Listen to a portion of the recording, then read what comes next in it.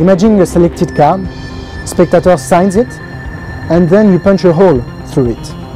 Visually, the spectators see the hole jump from one end to another of the card, and instantly everything is examinable.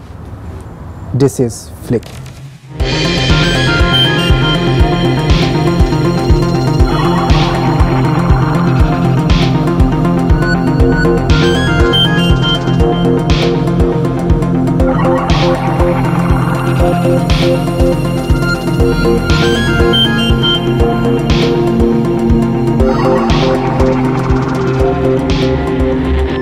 I'm Alex de Fuente, and this is Flik.